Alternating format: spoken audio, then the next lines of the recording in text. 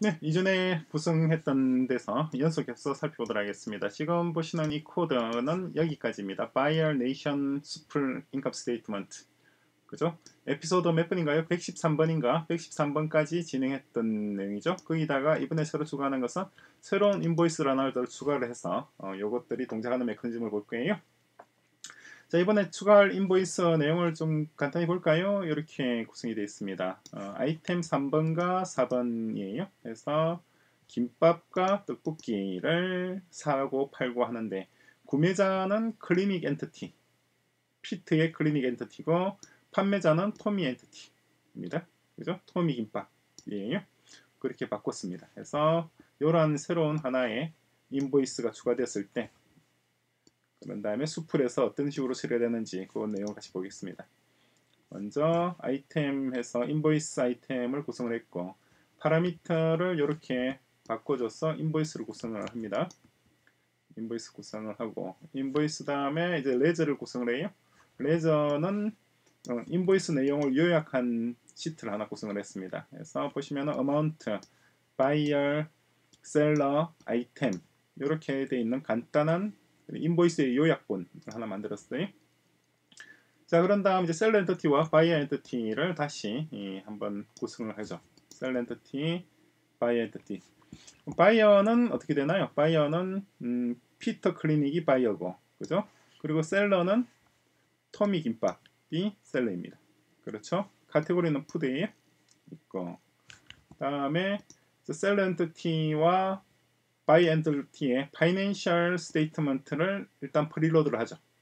그죠? financial report에서 income statement를 각기 preload를 하겠습니다. 그래서 이 글의 내용을 반영을 해야 되겠죠. 자, 반영을 볼까 preload 하니까 지금 현재 income statement 어떻게 되나요? 이, 이 친구는 지금 클리닉입니다. 피터 클리닉이고 income statement 이렇게 표시가 되어 있고 전부 다 이렇게 쭉쭉쭉쭉 되어 있는데 잘 보시면은 travel and entertainment 해서 6가 들어가 있죠. 그죠?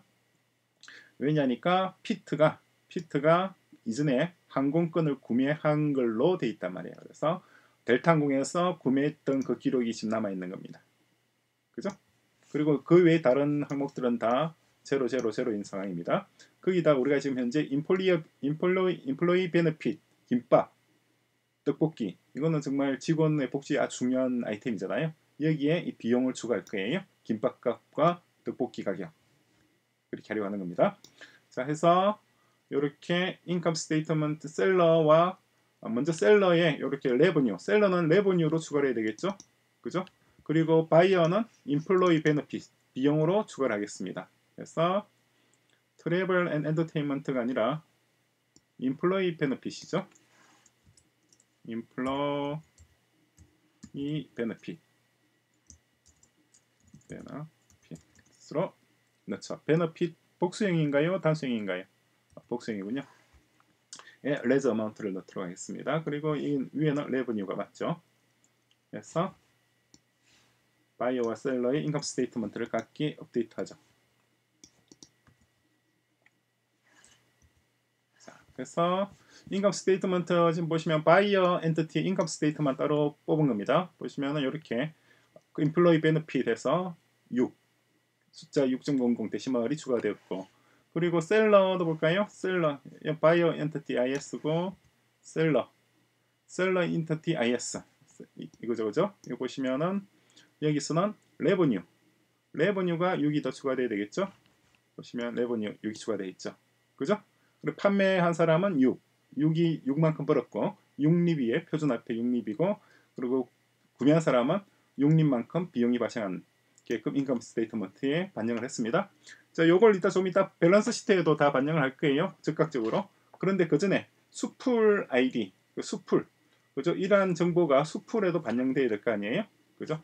그래서 수풀을 판매자와 구매자의 수풀을 일단 먼저 어, 뽑아보죠. 그래서 먼저 수풀 아이디를 찾고 그죠? 수풀 아이디를 찾고 수풀 아이디를 찾았으면 각각의 수풀 아이디 두 개의 수풀 아이디를 찾았잖아요. 근데 보시면 수풀 아이디가 같아요. 왜 같을까요?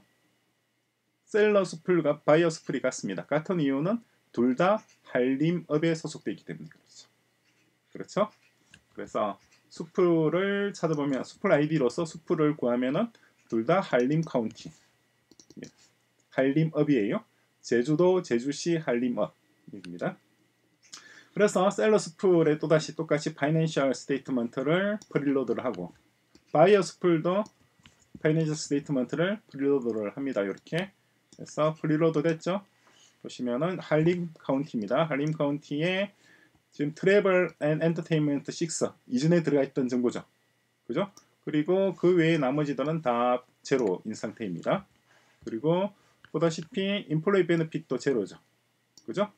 바이어도 동일합니다. 바이어고 seller도 동일합니다. 둘다 한림이에요. 둘다 한림읍 소속입니다. 그래서 한림 county라고 정보가 나와 있죠. 자, 이렇게까지 했고 그런 다음에 이제 이 정보 우리가 있었던 요 뭐예요? 어, 레버뉴, 레버뉴, 인플로이 베네핏, 쌀, 풋 익스체인지 될 겁니다. 인플로이 베네핏이 인컴 스테이트먼트에 인플로이 베네핏 있고 레버뉴 있고 그렇죠? 또 동일한 방식으로 여기도 업데이트를 해주죠.